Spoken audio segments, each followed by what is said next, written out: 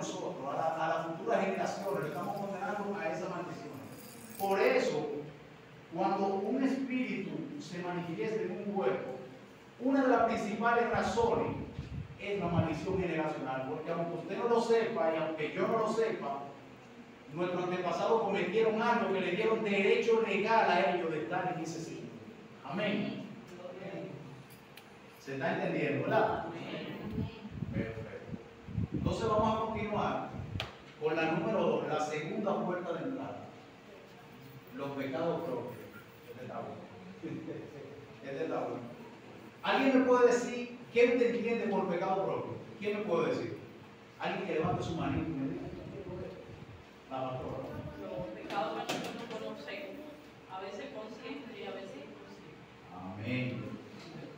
Como la pastora acaba de decir, son los pecados que cometemos nosotros mismos, no necesariamente tienen que venir de los antepasados.